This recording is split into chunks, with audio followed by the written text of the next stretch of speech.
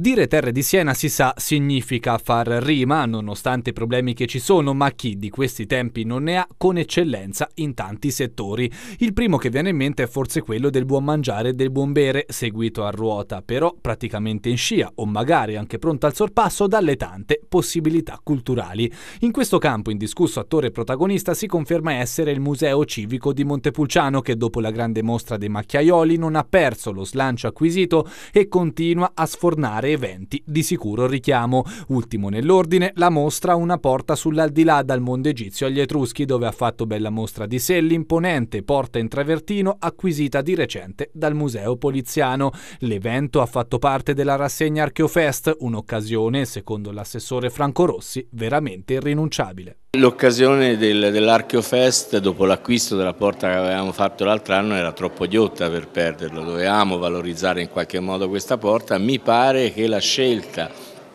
di ragionare del senso della porta nel mondo etrusco e le origini di questa, di questa tradizione sia una cosa sicuramente importante, è una chicca che si colloca all'interno del nostro museo. Montepulciano continua a scommettere insomma sulla cultura, considerandola vero valore aggiunto del nostro territorio e sembra proprio, visti i risultati ottenuti nello scorso anno, che il cavallo scelto sia quello vincente. Abbiamo segni positivi su tutti i fronti, questo non deve farci stare tranquilli evidentemente, perché come dico sempre, anche in una situazione come questa di positività, testa bassa, pedalare e, e continuare ecco, a fare quella serie di eventi che ci permettano di rimanere al centro dell'attenzione e di dare un'offerta di qualità ai nostri ospiti a Montepulciano.